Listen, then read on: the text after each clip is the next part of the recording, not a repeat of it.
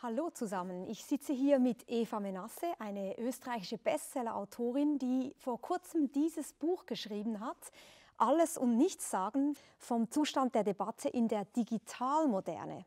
Und wir wollen heute Tipps abgeben, was man denn sonst noch lesen, hören, konsumieren könnte, um sich zurechtzufinden in dieser Digitalmoderne.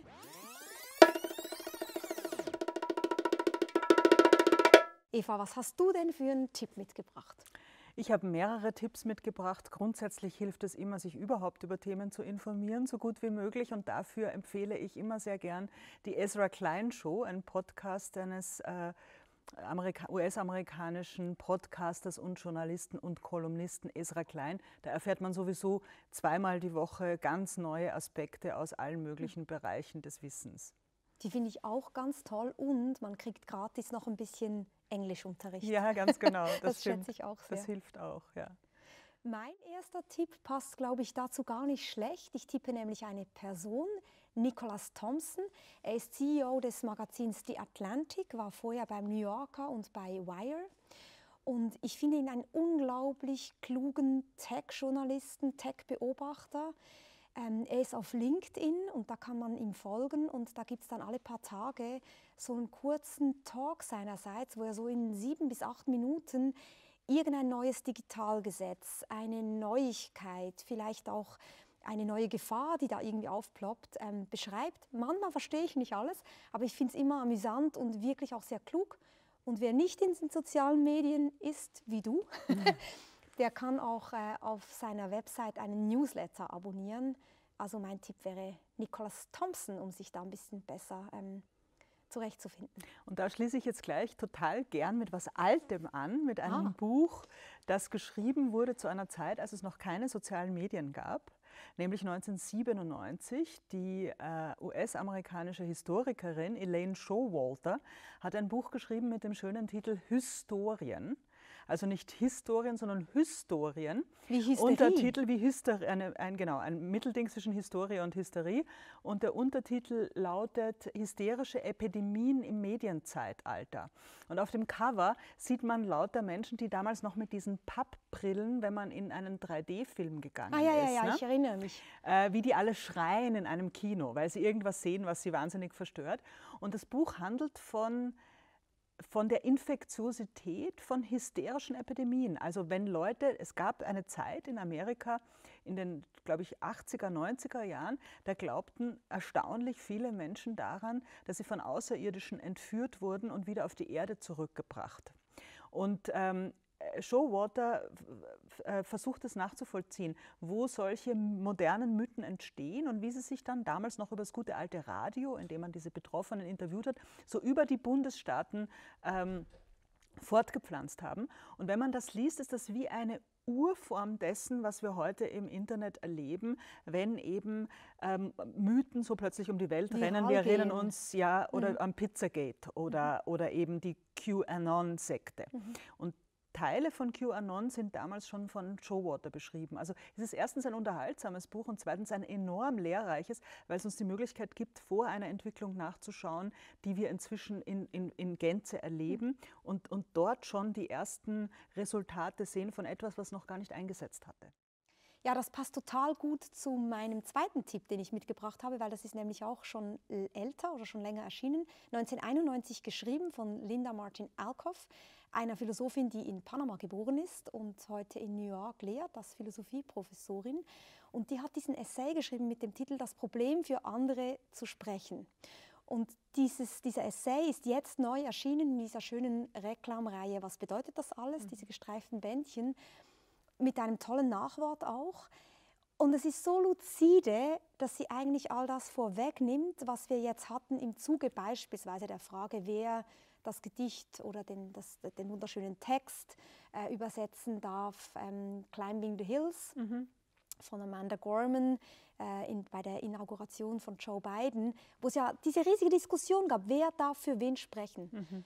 Und ich finde sehr klug an diesem Essay, dass sie so deutlich macht, dass man selbstverständlich sich überlegen muss, welche Sprecherposition hat man und auch, dass man andere, gerade auch Minderheiten zu Wort kommen lässt, aber trotzdem eben nicht den Anspruch aufgibt, für andere sprechen zu können, weil wir uns einfühlen können. Und ich glaube, das ist recht nahe bei einer These, die du auch vertrittst. Ja, genau. Genau, und wenn wir äh, Bücher zu diesem Thema heute, zum Streit der, im Digitalzeitalter haben, dann gehe ich auch immer gerne so einen Schritt zurück und sage, worum geht es da eigentlich? Und deswegen möchte ich auch noch ein Buch empfehlen vom österreichischen Philosophen Robert Pfaller mit dem Titel Die blitzenden Waffen über die Macht der Form, wo er darüber schreibt, wie Form und Inhalt äh, sich zueinander verhalten oder dass die Form eine, großen, eine große Bedeutung hat dafür, wie der Inhalt rüberkommt. Und ich glaube, eine gewisse Formlosigkeit oder auch Taktlosigkeit äh, ist, äh, kennzeichnet ja die Debatte in den sozialen Medien und dadurch kommen die auch so aggressiv rüber,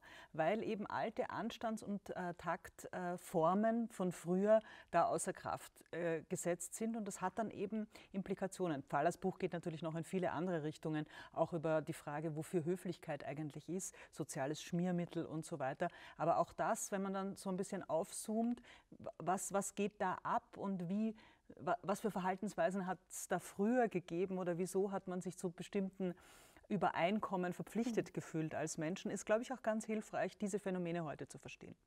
Dieses Buch mag ich auch sehr. Mir fällt dazu immer das Zitat ein von Max Frisch, der mal gesagt hat, man soll einander die Wahrheit nicht wie ein nasses Tuch um den Kopf schlagen, sondern wie einen offenen Mantel hinhalten. Ich finde, das passt ja. so schön, oder? Dass man reinschlüpfen Schönes kann Bild, in, ja. in, in, die Wahrheit. Mhm. Weißt du, was ich an dem Buch auch toll finde? Und da würde mich auch deine Meinung interessieren. Ich glaube, es ist auch das Buch, wo er sagt, dass es den Formenzauber der Rituale braucht. Ja. Und dass Höflichkeit auch so was Wunderbares ist, weil es uns ja entlastet. Genau. Weil wir diesen Formenzauber beherrschen. Wir müssen uns gar nicht überlegen, normalerweise im Gespräch, wie agiere ich jetzt, sondern wir können uns hinter den Formenzauber zurückziehen. Genau, und im Internet, da man den anderen ja nicht sieht auf den sozialen Medien, ist mhm. man ja in einem ständigen Kom äh, Kommunikationsüberforderung äh, eigentlich drin. Und deswegen ist man, glaube ich, auch so, oder das ist meine These zu diesem Thema, man ist so geneigt, immer das Innerste auszustellen. Also das ist ein, ein, eine Vorstellung von Authentizität, dass man sagt, ich bin an dieser und jener Stelle verletzt. Also meine These in meinem Buch ist ja unter anderem auch, dass die Identitätspolitik ohne die sozialen Medien gar nicht so einen Erfolgslauf gehabt hätte, mhm. weil, es, weil das die Währung ist, das, das angeblich Essentielle des eigenen Ichs da möglichst auszustellen und breitzutreten. Und Pfaller sagt eben genau das Gegenteil. Wenn wir nach außen gehen im analogen Leben, dann haben wir diese Maske der Höflichkeit und der Form, die wir waren und die äh, hindert uns daran, unser Privates auszustellen, aber belästigt auch den anderen nicht mit unseren privaten Sorgen, Problemen oder gerade Tageslaune. Und ich liebe das so sehr, weil es ja auch Leute gibt, die sagen, Höflichkeit und Rituale, das sind alles Zwangsneurosen, mhm. kollektive Zwangsneurosen. Und ich denke immer, nein, das sind Entlastungsmanöver. Ganz genau, das hilft genau. uns, glaube ich, ja. sehr auch im, im Abstand halten. Mhm. Die Diskretion des Abstands wird durch solche Formen gewahrt. Ja. Mein dritter Tipp ist eigentlich auch ein Buch. Ich sage zuletzt noch, warum es vielleicht doch kein Buch ist. Und das ist von Justin Tosi und Brandon Wormke, zwei Philosophen, die zusammen ein Buch geschrieben haben. Schon alleine das ist bemerkenswert, das tun mhm. Philosophen selten. Ähm, und das Buch heißt Moral Grandstanding. Und ich finde das ein absolut phänomenales Buch. Da geht es auch um das Sprechen in den sozialen Medien in erster Linie ähm, nämlich darum, dass wir sehr oft sprechen, um uns selber in einem besseren Licht darzustellen. Und sie unterscheiden zwei Möglichkeiten. Einerseits gibt es Prestigegründe, moralische Sprache zu verwenden, dass ich zum Beispiel ähm, mich selbst fotografiere vor dem Schild, äh, das zeigt, dass ich den Nachtzug nehme und ich poste das dann, um zu zeigen, guckt mal, ich bin total klimafreundlich, ich nehme den Nachtzug. Und das ist so eine Selbstreklame, mhm. Virtue Signaling. Und da sagen sie, das ist zwar nicht ganz so schlimm, aber trotzdem ein Ausverkauf der Moral, weil wir die Moral dann nur noch brauchen, um besser dazustehen. Mhm. Da bin ich so ein bisschen unsicher, weil es kann ja auch dazu dienen zu sagen, naja, vielleicht kann ich andere Leute überzeugen, das auch zu tun, aber je nachdem kann das auch problematisch werden, wenn dann eben nur noch darauf geguckt wird, wie wirke ich und nicht mehr, was tue ich. Mhm.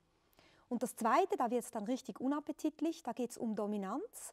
Das heißt, da geht es eigentlich darum, dass man andere anschwärzt im Netz oder sich lustig macht oder auch nur etwas liked oder forwardet, was andere in den Dreck zieht, um selber besser dazustehen. Und das passt extrem gut zu dem, was du auch in deinem Buch schreibst, nämlich, dass wir diesen Bekenntniszwang haben und eigentlich oftmals auch so sehr stark auf eine Seite stehen, Position beziehen, auch gegen andere, um uns selber besser darzustellen. Und ich finde, dieses Buch Moral Grandstanding fasst das großartig zusammen, nimmt das moralphilosophisch auseinander. Und jetzt kommt noch der Tipp, warum es nicht nur ein Buch ist. Wer jetzt nicht so gerne Bücher liest, dem oder der empfehle ich unglaublich gerne Big Think, eine Videoplattform. Und da gibt es auch ein Video äh, zu dem Buch, also wo der Brandon Wormke sein Buch noch einmal zusammenfasst. Sowieso eine tolle Plattform. Ich weiß nicht, ob du sie auch kennst. Da sind ganz viele Philosophen, die in acht, neun Minuten die These ihres Buches ähm, klar so, und flüssig. Damit man nicht mehr das ganze Buch lesen muss. Da bist du kritisch, oder? Ja, da bin ich natürlich kritisch, weil wenn man sich für etwas wirklich äh, interessiert, dann soll man sich auch versenken. Aber gut, vielleicht kann man da so, das ist vielleicht so eine Art ähm, Window-Shopping für die Bücher, die man dann wirklich äh, sich äh, zuführen will, ne? wenn man sich da verschiedene Vorträge anschaut auf dieser Plattform und sich denkt, es aber dieses Buch möchte ich dann wirklich in Toto lesen. Es sind zum Teil auch einfach Thesen oder Argumente, die die noch einmal verteidigen mhm. und zusammenfassen. Ich mag das ganz gerne. Also ich lese natürlich wahnsinnig gerne Bücher, aber du hast ja auch einen Podcast empfohlen. Manchmal hat man ja auch einfach Lust auf ein anderes Medium. Und das deswegen stimmt, ja. Manchmal kann man nicht lesen. Auch. Beim Autofahren. Dann kann man sich Auto. Dann kann man sich ja, ja, oder beim langen Zugfahren kann man sich vorlesen lassen. Das stimmt. Ja. Ich möchte noch einen letzten Essay äh, empfehlen, weil das ein Thema ist, das mich umtreibt und das ich ähm, das ich da wahnsinnig gut zusammengefasst finde, nämlich äh, in dem neuen Essayband des, des, deutschen Historikers Per Leo, den ich sowieso sehr schätze. Und der ist zum Beispiel im Gegensatz zu mir unglaublich umtriebig der, äh, auf Social Media. Den kann man auf Facebook äh, wirklich beim, beim, beim, Debattieren zuschauen mit allen möglichen. Und mhm. er geht auch immer auf seine Kritiker groß ein. Ich weiß gar nicht, wo er die Zeit dafür findet. Aber in seinem neuesten Essayband mit dem Titel Vorletzte Lockerung möchte ich den letzten Essay empfehlen. Den hat er für dieses Buch extra neu geschrieben. Das andere ist eine Kollektion alter Texte, die aber auch äh, sehr interessant sind. Aber dieser letzte äh, Essay hat den wirklich fantastischen Titel Israel-Kritik für deutsche Patrioten und beleuchtet dieses ganze Phänomen, wie das ist, heute in Deutschland über den Nahostkonflikt zu sprechen. Und er kommt von allen Seiten als Denker, dem man wirklich beim Denken zuschauen kann.